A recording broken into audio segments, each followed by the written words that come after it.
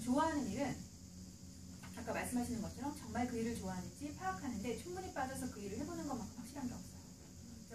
지금 32개 자격증 잘하신 거예요. 그 중에서도 좀 더 본인이 마음이 가는 게 있고 좀 더 앞으로 더 계속 발전시키는 거가 있잖아요. 그러니까 재료가 좀 많이